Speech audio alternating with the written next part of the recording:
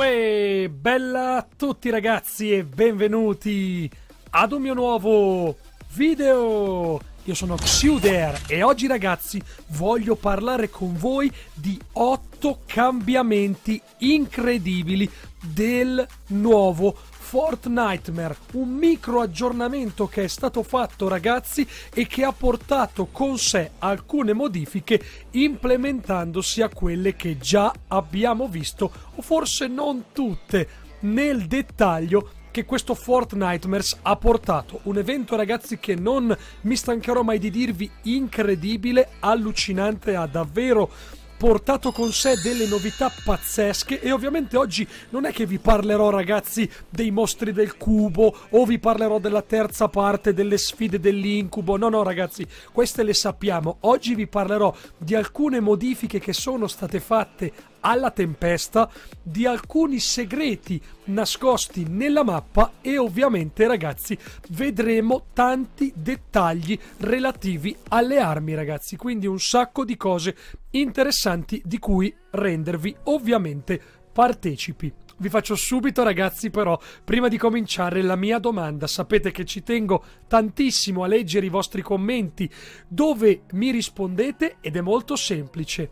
Preferite il Fortnitemare, il Fortnitemare del 2017 o del 2018?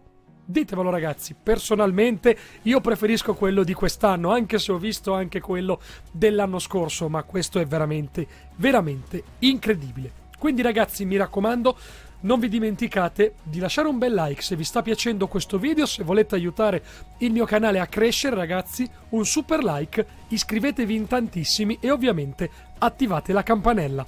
Quindi ragazzi cominciamo parlando proprio delle modifiche alla tempesta. Ci sono delle grandissime modifiche ragazzi. Se vogliamo vederle nel dettaglio, i danni massimi della tempesta adesso sono stati ridotti da 10 a 8. Cosa vuol dire? Vuol dire che quando arriviamo all'ultimo cerchio della tempesta, se per caso entriamo appunto nella tempesta, non subiamo più 10 danni al secondo, ma ne subiamo 8 questo si riassume dicendo che potenzialmente riusciremo a resistere un pochettino di più qualora dovessimo finirci dentro rispetto a prima. Ma hanno modificato una cosa incredibile, ragazzi, e l'abbiamo visto per la prima volta, l'ho visto ieri al Fall Skirmish, l'evento che stanno facendo dopo il Summer Skirmish. Da adesso, ragazzi, l'ultimo cerchio della tempesta non si ferma più. Questo vuol dire che non c'è più il tempo di attesa quando il cerchio è piccolino, quindi continua a muoversi e questo è fantastico perché proprio non lascia un attimo di pausa per i giocatori che sono arrivati fino alla fine fine. Modifiche anche ragazzi per i tempi in cui c'è da attendere tra un cerchio e l'altro alla fase 3 viene ridotto il tempo da 120 secondi a 90 e alla fase 5 da 70 a 30. Quindi ragazzi vogliono proprio sbrigarsela e chiudere le partite velocemente.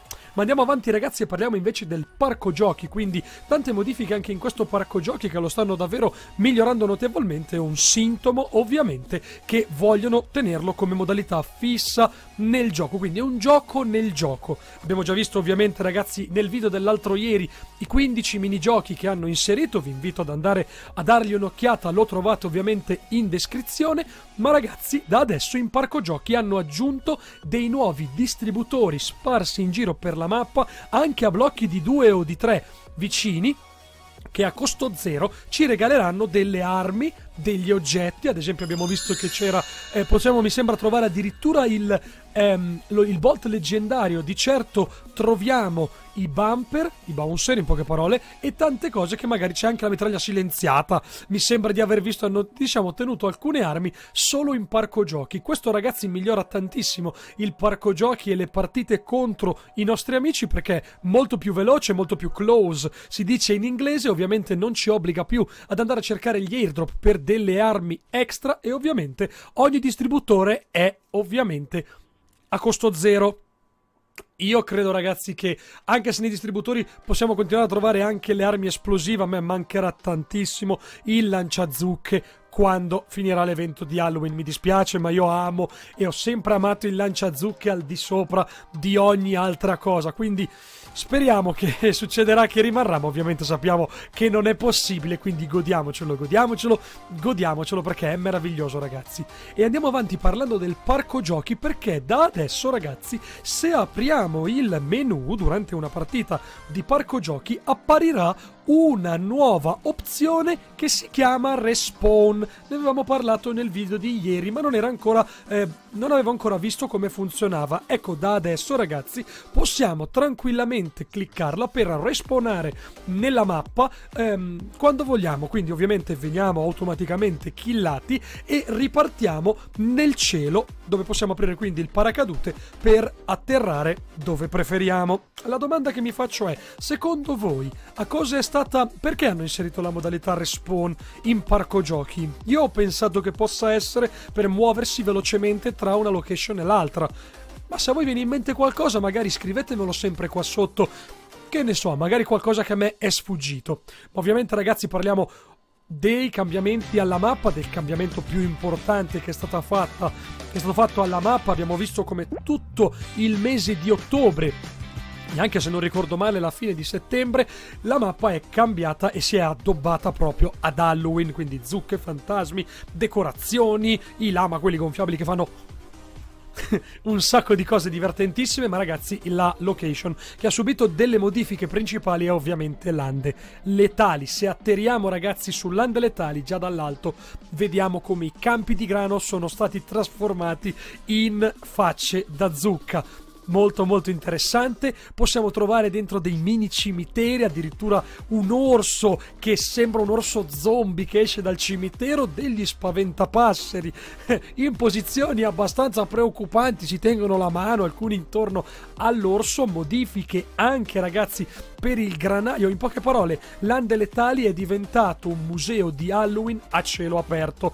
Abbiamo visto anche che ci sono i due ingressi adesso, quindi quella specie di, mh, mm, come dire, mini portoni di legno che sopra tra l'altro hanno nascosto dei chest che danno proprio l'accesso a Lande Letali, quindi modifiche anche per il granaio come vi dicevo, dove è stata riprodotta una specie di miniera fantasma con tante decorazioni di Halloween, i fantasmi, il cimitero, i colori verdi, insomma, tante tanta roba alle ragnatele, modifiche anche alla casa che è diventata una casa dell'orrore, come vedete ci sono orsi a profusione, orsi seduti, orsi ribaltati, orsi che hanno la zucca in testa, orsi nascosti dietro le porte, insomma ragazzi, tanta tanta roba. Ovviamente vi invito a guardarla con calma perché merita davvero tantissimo il lavoro che hanno fatto gli sviluppatori di Epic Games, intendo tutta lande letali. Ma andiamo avanti ragazzi molto velocemente e parliamo di un oggetto, di due oggetti tornati in game ragazzi. E l'avevamo già visto nella scorsa patch che erano stati rimossi per che avevano dei bug. Con questa patch è tornato il portatile gigante, quindi quello leggendario, ragazzi, benissimo, che ridotto, avevano ridotto il drop rate già scorsa, eh, nello scorso aggiornamento, quindi è più faticoso trovarlo, detto proprio in soldoni, ma c'è un grande ritorno, ragazzi, torna il missile guidato. Quindi amanti del missile guidate, yeah, è tornato. A me personalmente non piace più come quando era ad aprile, preferisco i lanciazucche, ad esempio, o l'RPG o comunque il lanciagranate, diciamo gli altri esplosivi. Diciamo che se trovo per terra le granate e il, minci- e il mincile e il missile guidato, prendo le granate. Sinceramente è troppo nerfato, eh, ma prima era troppo OP, quindi devono davvero trovare un bel bilanciamento. Prima c'era il problema che quando sparavi eh, rischiavi di killarti da solo perché boh, ti tornava indietro un rocket. Qualche eh, ostiata del genere, quindi missile guidato che ritorna, modifica ragazzi invece alle armi proprio. Forse non tutti sanno che è stata fatta una modifica incredibile alla Deagle ragazzi, sia nella versione epica che nella versione leggendaria. Hanno addirittura aumentato il range della Deagle e il danno, quindi veramente potenziata a livelli estremi. Guardiamo un attimo nel dettaglio. Eh, quindi aumentato il danno nel corto medio raggio della Deagle sia epica che leggendaria con un danno da 30 a 50 e alla testa da 60 a 100 per la versione epica mentre per la versione leggendaria da 62 a 104 e quello alla testa mm, il danno della testa da 60 a 100 l'avranno portato a 110, 112 indicativamente ballava di 10 danni da una e l'altra, ma la cosa più incredibile è che hanno modificato il danno della Deagle alle strutture. Cosa vuol dire? Vuol dire ragazzi che adesso una, un colpo di Deagle sparato su una struttura divers- dalla versione epica da 79 che toglieva prima toglie 150 quindi quasi raddo- no, raddoppiato quasi e nella versione leggendaria da 83 a 157 cosa vuol dire? vuol dire ragazzi tenetevi una Deagle perché con due colpi di Deagle si tira giù un muro di legno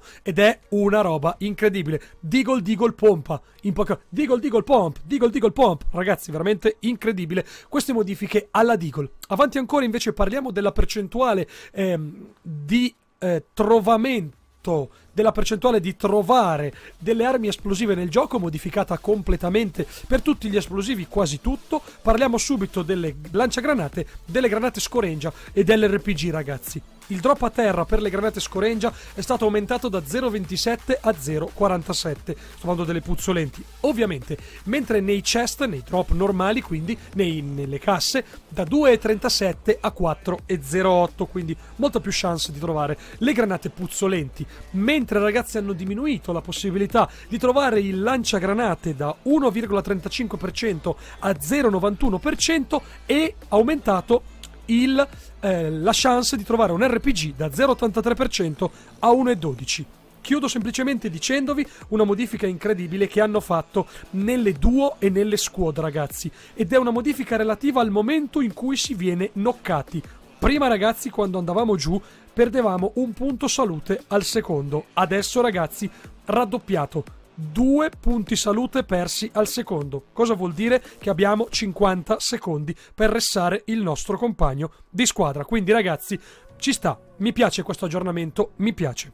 Beh ragazzi, oggi è veramente tutto. Io vi ringrazio tantissimo per aver guardato il video, mi raccomando, un bel pollicione in su, se ancora non lo avete fatto, iscrivetevi al canale e attivate la campanella.